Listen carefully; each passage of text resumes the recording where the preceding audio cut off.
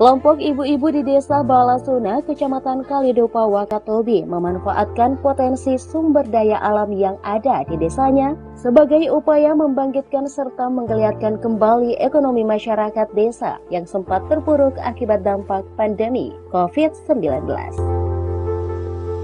Melalui wadah kelompok posaka perempuan yang dibentuk sejak tahun 2018, dan saat ini beranggotakan 22 orang mereka mengembangkan usaha biskuit rumput laut dengan nama produk Birula.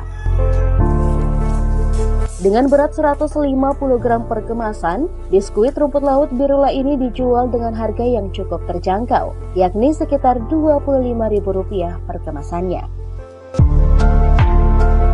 Meski begitu, Ketua Kelompok Pustaka Perempuan Jayati mengatakan, untuk saat ini pihaknya masih mengalami kesulitan dalam pemasarannya dan masih sekitar lokalan saja. Sehingga dibutuhkan peran pemerintah daerah maupun pihak-pihak lain guna lebih memperluas pemasaran hingga keluar Wakatobi bahkan luar Sulawesi Tenggara. Mengingat usaha biskuit rumput laut yang dikembangkan ini, selain untuk membangkitkan kembali ekonomi masyarakat desa, juga sekaligus sebagai upaya mendukung pemanfaatan sumber daya laut yang bijak dan lestari. Kalau untuk pembinaan kelompok ini pertamanya dari kelautan. Sekarang sudah banyak yang masuk dari Horkani. Sampai sekarang Bu anggotanya berapa orang? 22 orang.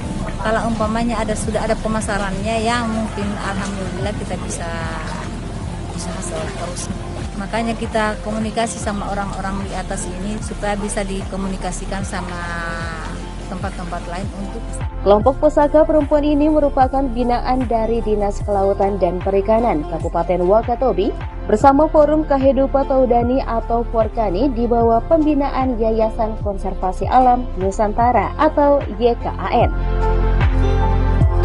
Tim Liputan melaporkan dari Wakatobi.